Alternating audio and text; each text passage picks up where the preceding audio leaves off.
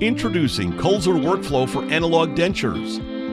The Kulzer Workflow for Analog Dentures is a seamless process that facilitates collaboration between the dentist and the dental lab and features products that work together to improve efficiencies and reduce chair time. Step 2 Building the base plate and bite block. PalaMeter is a versatile measuring instrument that helps you capture the precise measurements which are critical at this stage in the process. Multiple measurement methods and tools combined in this one instrument. PalaMeter is easy to use and has an intelligent design that features color coding, a pencil guide, and even a cutout for the lip frenum.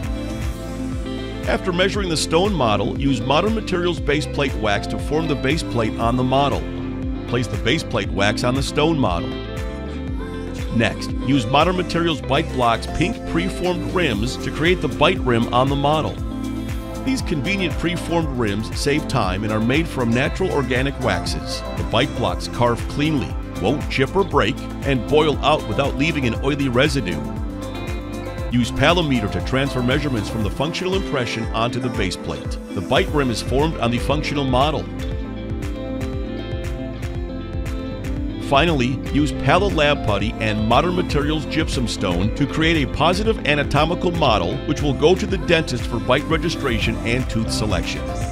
Save time in the dental lab with Kulzer Workflow Solutions for Analog Dentures. Kulzer Workflows, products that work together to improve efficiencies and save time.